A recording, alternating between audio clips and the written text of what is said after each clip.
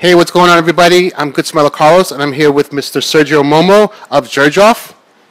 We're going to do a little uh, question and answer here, get to know each other. Absolutely. I'm great, great to be here. Thanks very much for inviting me. Great to be in Brooklyn. Great to be in Twisted Lily. First time. Awesome. Looking great. Looking fantastic.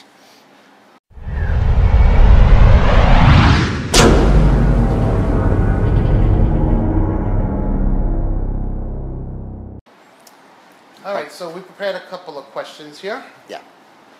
When did you become inspired to start creating perfumes? That was about 10 years ago. Uh, that doesn't mean that 10 years ago I started to be into perfume. I, I always been into perfume. My father was mu- very much into perfume, so was my grandmother. So it's always been running in the family, Okay. the passion.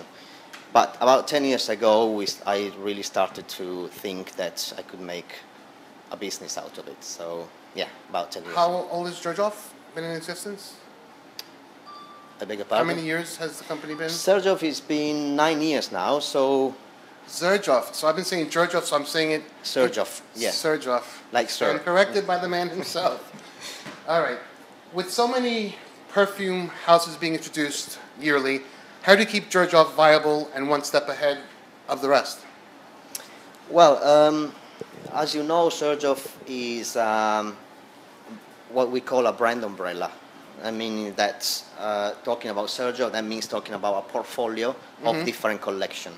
So all the collections kind of have a house, on, uh, life on their own. Okay. Um, so every collection has a section line, um, have novelties. So obviously, by just making the family grow, uh, we always have something interesting to, to launch into the into the market. So I think novelties. I was is- always is confused. Is Sospiro on its own or is it Xerjoff Sospiro So Spirit is on its own. It's another brand. It's on its own? So today I'm not wearing Xerjoff Erba Pura. I'm wearing Sospiro Perfume Erba Pura. Correct. See? Correct. You smell it? Do you like? Am good at me? Indeed. Yes. I got quite a few compliments today. All right, so um, what classic fragrances inspire you the most? Um, I have to say Arpege because that was my grandmother Okay. um, perfume, and I think definitely Guerlain. So Après L'Ondée, uh, it was one of my favorites. Um, Soku as well. So that was definitely those perfume which inspired me most, and still they still do actually. All right. Have any famous paintings or works of art inspired any of your perfumes? If not, what one piece of artwork would you like to create an olfactory version of? Um, I've been studying work, uh, arts uh, during my school time, and I think that Caravaggio was the the, the painter which he was uh, creating for me the most emotion. The- I mean, the, the, the painting, the colors, and the, the play with lights and so mm-hmm. on. So I think that any of the Caravaggio painting, I would like to create a perfume on it. Awesome. Yes. So it's creating, recreating the drama mm-hmm. of, of the painting itself. Yes. So you're here in New York City, and it's been very hot, the hottest that it's been all summer. Sorry for the humidity Yeah. that, that landed when you landed here, that was here for you. What does New York City smell like to you? If you were to create a New York City inspired perfume, what one note would you choose to start it with? Or Well, more? to start with, I would think that I would use the birch, so the leather note. Mm-hmm. Uh, that is because maybe of, the traffic and the and the hype. Um, so the leathery note is the first thing that spring into my mind. But then it obviously it depends which part of New York, which part of Manhattan Mm-hmm. uh, you are. So obviously, if you go to Central Park, it's a different story.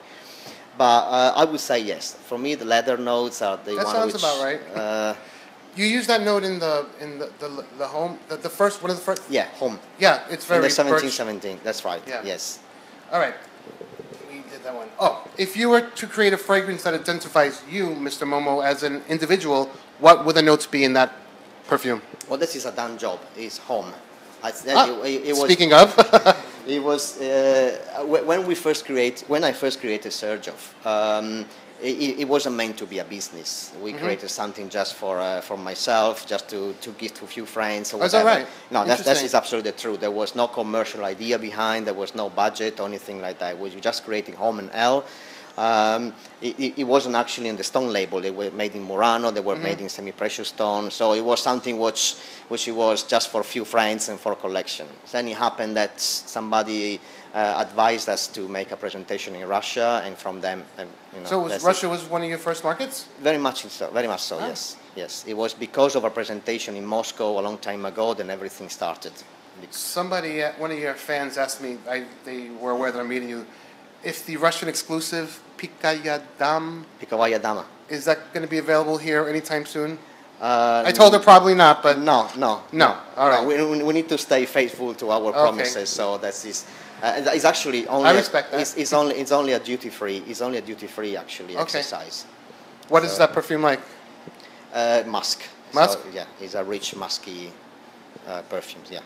All right. Is there a note, any particular note that you find problematic or that you just don't like to use in your particular perfumes or? Uh, no, not really. I mean, we, we do we do experimentation all the time. So uh, I'm not parti- I, I'm- I've never been particularly in love with tuberose, but now I'm kind of changing my mind, which is good. Um, Has, have you used any, anything with? uh, no, but I will. Awesome. I will. Actually, we're happen- working it. I like tuberose, so I'm there when you create it. Absolutely. No, no, no. I mean, I, I, as I said, I'm changing my mind, which I think is good, and uh, we are working on it. So quite soon. I mean, a lot of people love it, a lot of people don't love it, but I, I think, I, I think a Xerjoff tuberose would, sounds amazing. Yeah, I think that we need to. We, Or- or I- tuberose based. Like you rightly said, we need to give it a Xerjoff's twist into it, Mm-hmm. definitely. But we are working on it, and we will be there. All right, being in the luxury and niche market, would you ever consider selling your perfumes in high-end department stores such as Barney's or Bergdorf's? Well, yes, why not? Um, Xerjoff has, as we said at the beginning, uh, is a portfolio of seven different collections. So not everything is actually suitable to any kind of retailer or market. But I'm sure that some of the Xerjoff uh, collection could be, could be seen and. Have you uh, ever been approached, or have you been wanting to keep it exclusive to, Yes. to niche stores? We, we're, we're being approached. I mean, I- I would imagine- We, we, we, we, are thinking about it. Obviously, I mean, our, our customers in, uh, in Russia, in the Middle East, in Europe, in London, Mm-hmm. and so on, are the same customer actually uh, probably shops in here, but in shops in Bergdorf as well. So, I mean, we, Do Yeah, you have a Middle not? Eastern exclusive? Yeah, I don't know. no, in the Middle East, we have our own boutique Okay, uh, in uh, Dubai Mall. but there's no uh, fragrance exclusive to that boutique? No, Just no, exclusive, exclusive are in, are in London, are in uh, Germany. And uh, I mean, sometimes some retailer, they come to us and say, look, you know, we, we really like the idea of having Mm-hmm. something exclusive, so we work on it. If, You mentioned seven lines. Um, I know of um, I know of um, the Shooting Stars, yeah, the uh, Casa Morati, Casamorati, the 1717. Sospiro, no, no, 1770. Sospiro is not Xerjoff. So Oh, right. We- didn't we establish that already? Don't I listen? Sorry. it's the heat. Yeah? yes, it's the heat. yeah, then we have yeah we have Oud Stars, then we had XJ Oud, which is just, uh, I saw it before. Um, is the Oud. Oud line. Oh, the, uh, the Atars. The Atars, yes. Um, you had the JTC. Uh, so you know we have. Which is the more affordable-ish, you know, price point. I this think one? it's JTC. Yes, yes, the JTC. There's quite a few good ones in there, like Ivory Route. I like a lot. More Than Words is a good one. nice aroma. I haven't I haven't played with these, but I, I really want to. yeah, that's it. Obviously, it- aim to a particular customers, which they like. it- it- Richwood is one of my favorites, all-time favorites. Yeah, I remember that. Yes, I remember you saying that. Love, love, absolutely. love. All right. Um,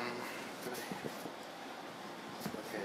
I like Oh. this kind of a Bob Dylan games. I like Do you watch YouTube reviews? How do you feel about YouTube reviews and and blog reviews, but No, mainly uh, YouTube? yeah, I, I, I watch. I mean, I can't swear I actually managed to see them all, but Mhm. yes, I do. I do watch them, and I think that uh, YouTube is, uh, uh, I mean, it's an interesting uh, media, an interesting way of communicating. Um, uh, my, I mean, my, my only advice is to use YouTube the same way you use the press print or whatever, with uh, a constructive Yeah. uh, and positive uh, approach, even if even if the outcome is not positive, it needs to be constructive. Mm-hmm. There's, So I always believe there's a way of saying something. Yeah, that's. I think that's You know, important. you, you you can you can outright dislike something, but you don't have to say it in such a a, a mean. But that's that's just me, you know. And and some reviewers like to go straight for the for the gut, and and that's their style. But um, I, I think overall YouTube is definitely a, a an important uh, It is means of important. It- it reviews is- and getting word out there about niche lines and what have you. Correct. It is, it is very important. I, like you rightly said, I mean, we're talking about perfume, so whoever likes to be in this universe is because it, they got some sort of sense, extra different sensibility about things. So I think they need to be sensible as well when they describe and when they, they put their own opinion to it. So that's, I think that is important. For the rest of it, I think YouTube is great, yeah. Yeah. All right, so um, we're winding down here. We let's see. What are your personal favorites from your collection? This is a difficult question because it's like, you know, when you have 10 kids and you It's say, like you Sophie's know, choice. I know. Yeah. so um, it's difficult. No, no, I, I don't think I'm ready to answer to that one. I Okay. think that is uh, You st- you- the, the, the thing is when I decide that the, a, a perfume is good enough to be out there and Mm-hmm. talk about Xerjoff first of all because we have our own philosophy and then talk about the collection which is part of JTC, Mm-hmm. Casamorati, Shooting Stars, whatever. I think is is my choice to say this is good enough to represent this. So uh, is is another son, is another daughter. So Mm-hmm. uh, I don't have a, a, a favorite one. It's part of the family. So family. you stand behind all of your wonderful collections, as so you should, because you have quite a collection.